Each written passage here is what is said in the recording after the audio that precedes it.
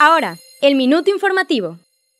La generación de energía del Estado se desarrollará en un horizonte de cinco años, con inversión estimada en 39.700 millones de pesos, destacó el secretario de Desarrollo Económico y Turismo al inaugurar el Congreso Nacional de la Asociación Mexicana de Profesionales Inmobiliarios.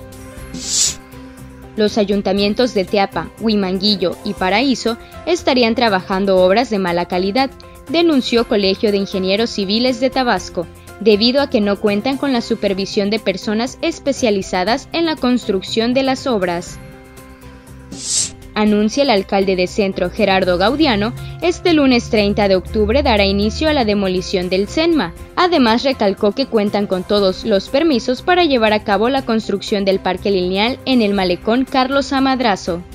De acuerdo al pronóstico que emite el Servicio Meteorológico Nacional, para este viernes se prevé un ambiente templado con posibilidad de lluvias muy fuertes de 50 a 75 milímetros en las subregiones del centro, sierra y ríos, fuertes de 25 a 50 milímetros en la entidad. Búscanos en www.ahoratabasco.com